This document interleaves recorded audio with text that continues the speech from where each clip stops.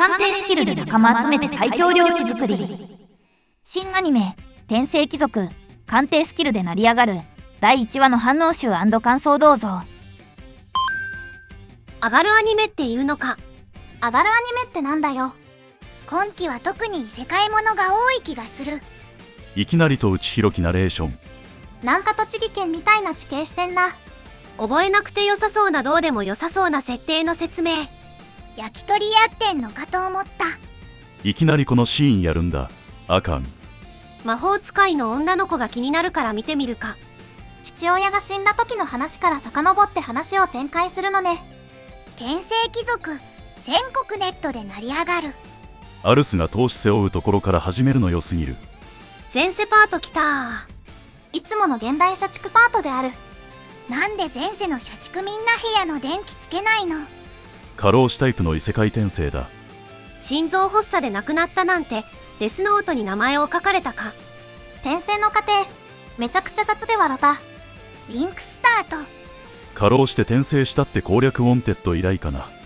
犬が飛ぶとかそんなわけ。赤ん坊からちゃんとやるパターン。いきなり犬飛んでて自分は自分でおしゃぶりしてるのは草。このアバンの演出うまいよな転生もので一番どうでもいい転生の理由を一瞬で終わらせたのはいいね。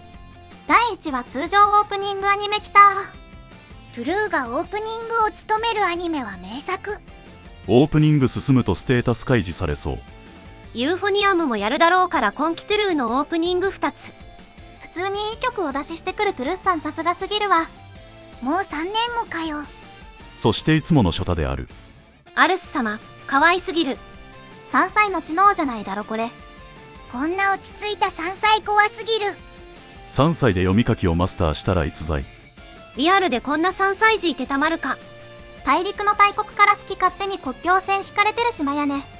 身の回りの世話意味深。ブルジョアだ。ブルジョアだわ。鑑定スキルきた。鑑定ってものとかじゃなくて人間の能力を鑑定するのか。幼少期から鏡低スキルには目覚めてるのねアニメだと鑑定の演出こんな感じになるんだ。鑑定スキルで適材適所を見出すのね。鑑定ってなろう主人公は普通に持ってそうなスキルだよな。かわいいわ。キラキラお目目アルス様にあんな顔でお願いされたら国家機密すら話すかも。B でそんなにすごいのか。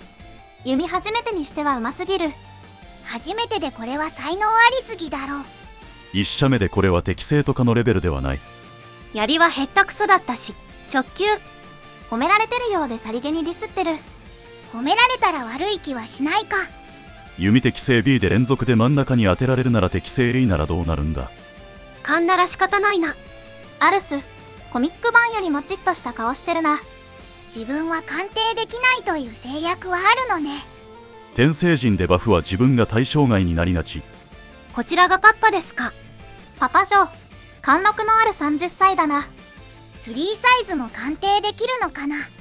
父上かっこいいけどアバンで派手に仮装されてたよな。30歳なのにそんな偉い貴族になり上がれるとは相当過酷な戦争があったのかな？なんか戦略シミュレーションゲームみたいだな。漫画みたいにもう少しステータス見やすくしてくり。未来が明るくないのか。やっぱり貴族ってクソだよな。意外とシビアな世界状況。治安が悪い世界ですね兵を率いてるアルス様可愛すぎない。ここ可愛すぎて好きすぎる。メガネのメイドさん髪色こんな感じなのね。あのデカメガネメイドいいキャラで座してんな。こんなしっかりした3歳ちょっと怖い。やはり大人の精神年齢で転生してるから視力深いですね。街で優秀な人間を探しに行くアルス。お忍び。かと思ったらすっかり顔なじみだった。カッパ。ポンチョ一人で歩いて大丈夫なんか。こうやって使える仲間をスカウトしていくのか。目がしょぼしょぼするんですかね。鑑定すると目が乾くのか。人種差別きた。被差別人種のマルカ人リーツ登場。なかなか厳しい世界だな。人種差別。ダメ。絶対。パンを食べた人が泣いている。サクサクと進む展開が早いアニメだな。突然の信長来た信長だ。じゃないな。異世界で織田信長が出てくるのくさハイスペックじゃねえか。なんだよその顔芸は。信長のステータスってどういうことやねん。なぜ信長のステータスを知っている？ステータス画面見づらいけど野ゲノラを思い出すカラフルさでこれはこれで嫌いじゃない。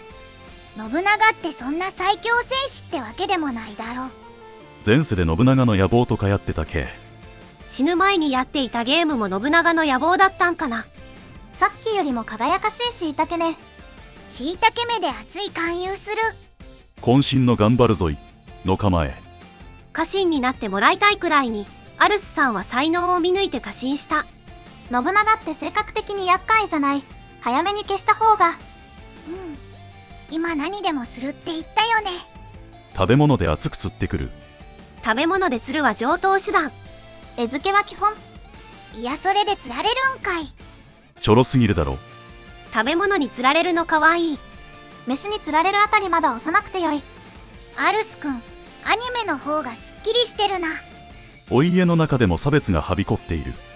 メガネメイドさんの株がだだ下がり。どの世界にも差別はあるのな。やっぱり差別は簡単には払拭できないよな。アルスのいいところこういうところだよな。リーツと一緒に飯食う全世界の偉い人たちがアルス様みたいな人でありますように。初太なのが優位に働いてるな。大人だと反感勝手離反されそう。ロールキャベツでキャベツ検定に挑んできた。もぐもぐリーツかわいいよリーツ。リーツさんニコニコ笑顔いいですね。登場人物みな可愛いね。父親もマルカ人を差別してるから認めない。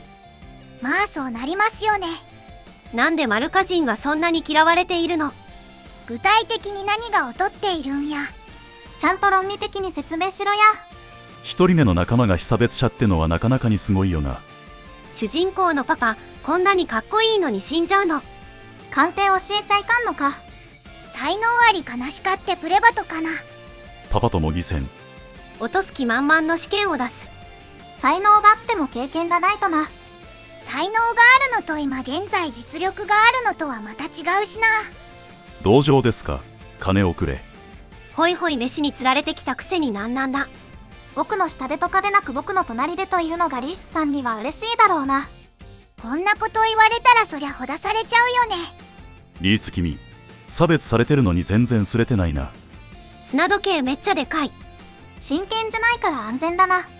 名乗り名乗らせるのお父様真剣勝負なんだよな。勃剣で真っ二つとか怖い。ダメだ父上が強すぎる。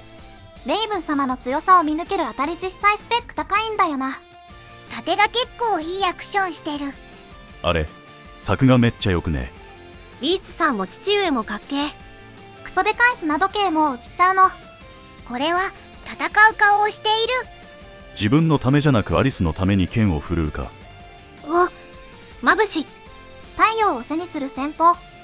リーツさん戦い方がゲリラっぽくていい。時間だ。答えを聞こう。かすってたのか。かすってても認められる。アルスの父優しい。ちゃんと認めてくれる父上。かっこいい。やっぱり信長は信長だった。アルスの鑑定目もリーツの添付の際も本物だ。今更だけどリーツさんと11歳も違うのか。天聖貴族の成り上がりか。マジで皇帝になっちゃうやつじゃないのそれ国一番の戦士からの言葉は嬉しいだろうな。理解あるパパンイケメンすぎる。しっかり相手を認められるちゃんとした人だ。実際のところアルスの進化として十分かどうか見極める意味が大きいからな。みんなからも認めれた。ちゃんと認められる兵士たちいいね。もはやマルカ人は劣っているという分母の大きい文句は意味をなさないな。そのままエンディング入ってきたな。リーツさんスーツ似合いすぎる。リーツの紳士服姿かっこいい。リーツがレベルアップした件。褐色イケメン使用人と坊ちゃんという組み合わせいいよね。増票なのに塩ビ服と思ったら使用人もやるのか。なるほどね。これで人集めてくのか。僕の最強領地作りはこれからだ。第1話なのでまだ本当にこれからだよ。最強領地作りってワードちょっと面白いな鑑定スキルはあるとはいえアルスは十分人たらしよね。第1話にしてハッピーエンドや。次回予告あるタイプのアニメや。イヤー鑑定結果の表現以外は大満足だった。めちゃくちゃクオリティ高かったな。これアニメでどこまでやるんだろう。シャーロット来た次は魔法使いのオンニャの子スカウト会か。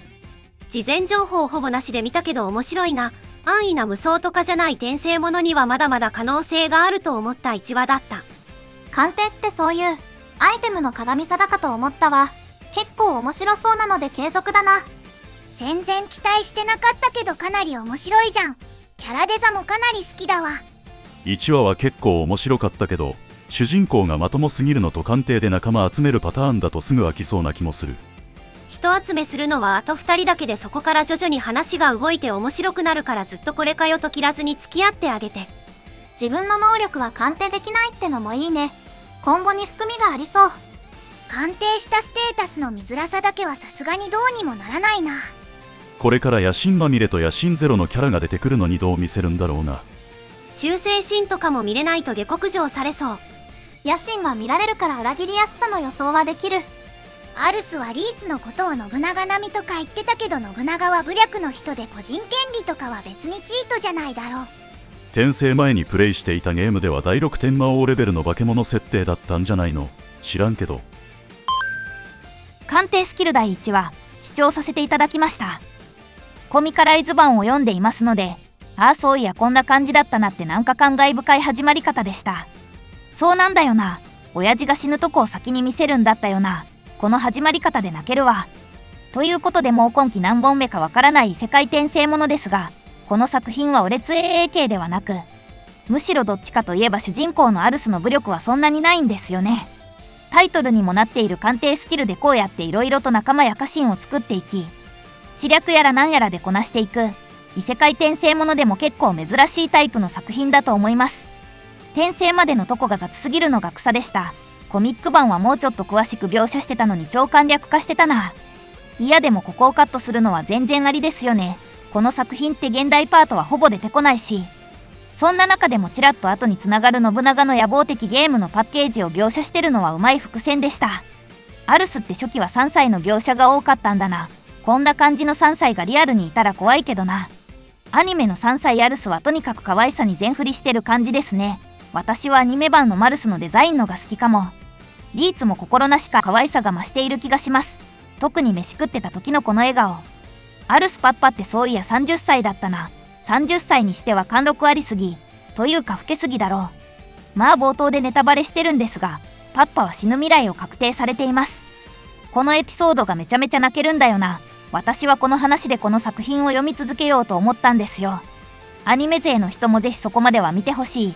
ていうか基本この作品はいい話が多いのでもっとたくさんの人に見られてほしい。けどこのアニメやってる時間をビって今でさえブル赤アニメや無色転生もあるのに5月から鬼滅も始まるんだよな。